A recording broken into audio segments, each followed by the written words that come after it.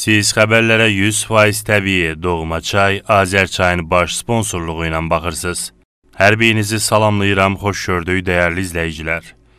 Zəngəzur dəhlizi məsələsini Azərbaycan mediasının daim diqqətdə saxlaması, erməni siyasətçilərinin də bu mövzunu gündəmə daşıması ilə nəticələnir. Sonra bir neçə gündə davam edən ardıcıl açıqlama və şərhlərdə erməni ekspertlər dəhliz haqda bəyanatda heç nə yazılmadığı Zəngəzur dəhlizi ifadəsinin Azərbaycan mediası tərəfindən ortaya atıldığını iddia eləyir. Mediasa rəsmilərdən bu barədə ardıcıl təqziblər almağa çalışır. Artıq erməni rəsmilər də birmənalı olaraq dəhlizin müzakirə edilmədiyini bildirirlər. Belə ki, Ermənistan Təhlükəsizlik Şurasının katibi Armen Qriqoryan yalnız kommunikasiyaların açılmasının müzakirə mövzusu olduğunu deyib. Ötən gün Qriqoryanla paralel açıqlama verən Baş nazirin mavini üç tərəfli işçi qrupundakı erməni nümayəndə Miguel Qriqoryansa ümumiyyətlə avtomobil yolunun deyil, yalnız və yalnız SSR zamanı mövcud olan dəmir yolunun açılmasının müzakirə edildiyini bildirib. Sputnik Ermənistana açıqlama verən Rusiyalı ekspert Nikolay Silayev isə olduqca maraqlı məqama toxunub. O bildirib ki, 10 noyabr 2020-ci il bəyanatında Zəngəzur dəhlizi doğrudan da yoxdur. Belə ki, bəyanatın 9-cu bəndində deyilir. Bölgədəki bütün iqtisadi və nəqliyyat əlaqələri bərpa edilir.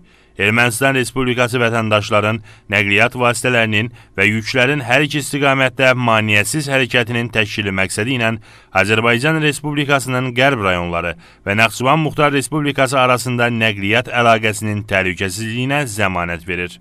Nəqliyyat əlaqəsi üzrə nəzarəti Rusiyanın Federal Təhlükəsizlik Xidmətinin Sərhəd Xidmətinin orqanları həyata keçirir. Əlbəttə, Zəngəzur dəhlizi ifadəsi Azərbaycan tərəfinin məhsuludur. Bəyanatda Zəngəzur və dəhliz sözləri yoxdur. Ancaq bəyanatda bu yolun statusu da müəyyən edilməyib. Bu yol bütövlükdə Ermənistanın nəzarət altında olacaq. Bəs onda Rusiya sərhədçiləri orada nə eləyəcək? Rusiyalı politoloqlar da bu məqama görə erməni mediasının israrlı istəklərinə müsbət cavab verə bilmirlər. Zəngəzur dəhlizi Heydər Əliyevin ideyasıdır. Politoloq Artur Atayev erməni mediasının açıqlamasında deyib ki, Zəngəzur dəhlizləri 2001-ci ildə müzakirə edilib.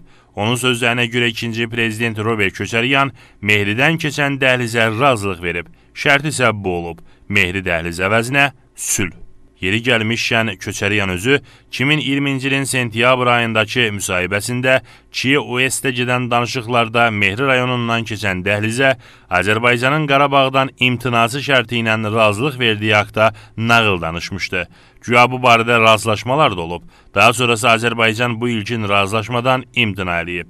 Köçəryan iddia eləmişdi ki, əgər Azərbaycan bu şərtə razı olsaydı, Qarabağ Ermənistana birləşdiriləcəkdi. Bu, Robert Köçəryanın növbəti yalanıdır. Belə bir ilkin razılaşmanın olduğunu Köçəryan və onun mediası tarixin yaddaşına yazmağa mənasız cəhdlər eləyir. 2001-ci ildəki danışıqlarla bağlı doğrudan da belə bir şayələr o vaxt mediada səsləndirilirdi. Erməni mediası o zaman yazırdı ki, Köçəryan Qarabağın 7 rayonunu boşaldır.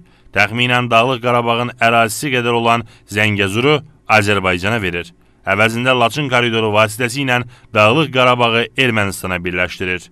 Paralel olaraq hallandırılan növbəti ehtimalsa Dağlıq Qarabağa Naxçıvan qədər status verilməsi, ancaq Laçın dəhlizi əvəzinə Mehri dəhlizi şərti idi.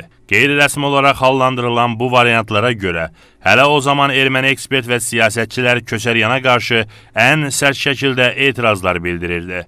Azərbaycan mediasında isə ekspertlər ikinci variantı nəzəri baxımdan o qədər də pis qiymətləndirmir və pislərin ən yaxşısı sayırdılar.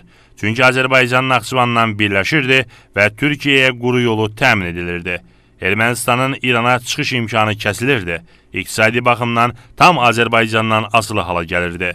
Məcburi köçkünlərin qayıtması ilənsə Dağlıq Qarabağın mənzərəsi dəyişirdi.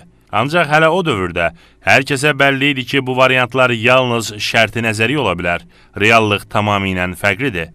Aradan uzun illər keçəndən və yaddaşlardan həmin dövrün qeyri-rəsmi informasiyaları silinəndən sonra Köçəryan daha uğurlu danışıqlar apardığını nümayiş etdirmək, 2001-ci ildəki olayları dəyişdirərək cəmiyyətə yeni rəsmi yalan sırmaq və özündən qəhrəman düzəltmək istəyir. Artur Atayev 20 il öncəki qeyri-rəsmi informasiyaları xatırladaraq Zəngəzur dəhlizi ideyasının yeni olmadığı, bunun əsasını Heydər Əliyevin qoyduğunu bildirir. İndi Azərbaycan 2-ci Qarabağ müharibəsində qalib olandan sonrasa artıq bu ideyanı heç bir əvəzi olmadan icra eləməyə girişib. Bu həm də Ankaraya iqtisadi və hərbi siyasi əlaqələrini genişləndirmək üçün vacibdir. Ekspert bildirib ki, Azərbaycan artıq Qarabağda hərbi siyasi müharibəni qazanıb. İndi isə ikinci müharibəyə başlayıb. Ancaq bu hərbi deyil, iqtisadi savaşdır. Onun iddiasına görə Bakı iqtisadi savaşla İrəvana təzyiqi artıraraq Zəngəzur dəhlizini almaq istəyir. Avropa siyasətinin təhlili mərkəzi məqalə dərc eləyib. Məqalədə deyilir ki, əgər Ermənistan Türkiyə ilə münasibətlərini yaxşılaşdırsa, hərbi qarşıdurma ehtimalı yoxa çıxacaq və bütün tərəflər üçün uyğun olan status quo-nun formalaşması üçün Ermənistanla Azərbaycan arasında səssiz müqavilə bağlanacaq. Çünki iki tərəfli münasibətlərin normallaşdırılması, ticarətin yaxşılaşdırılmasında ümumi maraqları olan Ermənistan və Türkiyənin iqtisadi əməkdaşlığına zəmin yaradacaq. Getdikcə sərhəd uzunluğu 300 kilometrə qədər açıla bilər. Təbii ki, xarici qüvvələrin müdaxiləsi, eləcə də İrəvanın millətçi əhval-ruhiyyəli təbəqələrinin hərəkətləri və qarşılıqlı inamsızlıq potensial yaxşılaşmanı məhdudlaşdıra bilər. Ona görə də burada uzun müddətli perspektiv vacibdir. Ümumiyyətlə Ermənistanla Azərbaycan arasında sərhədlərin delimitasiya və demarkasiyasından bağlı bütün müxtəlif Sovet xəritələrinə istinadlar və spekulyasiyalar var. O cümlədən 1920, 21 və 23-cü ilin xəritələri və ya keçmiş SSR Silahlı Qüvvələri Baş Qərargahının hərbi xəritələrinin əsas götürülməsi mübahisəsi hələ də bitmir. Rəsmi İrəvan daha çox 1920-ci ilin xəritəsinə, Kreml isə Baş Qərargahın xəritəsini demarkasiya üçün münasib hesab edir. Fəlsəfə doktoru Firdovsiyə Əhmədova deyir ki, əgər Ermənistan yenə də siyasi spekulyasiya və təxribatla məşğul olmaq istəyəcəksə, onda Azərbaycan daha çox haqqı olan tarix ərazilərlə bağlı iddialarla çıxış edə bilər. Bu ərazilər xəritələrdə təsdiq olunub. Məsələn, əgər söhbət 1920-ci ildən gedirsə, 1920-ci ildən sonra Azərbaycanın torpaqları məhz elə kommunist rəhbərliyinin iradəsi ilə Ermənistan SSR-yə verilib. O ərazilərin hamısının indi Azərbaycan Respublikasına qaytarılması məsələsi qoyula bilər. Videonu sona qədər izlədiyiniz üçün hər birinizə təşəkkür edirəm. Bu cür videoların davamı üçün isə kanalımıza abunə olun və bildiriş zınqrovunu aktiv edin. Aktiv edin ki, bu kimi videoların ardı və davamı gəlsin. Xəbərləri 100% təbii, doğma çay, Azər çay təqdim etdi.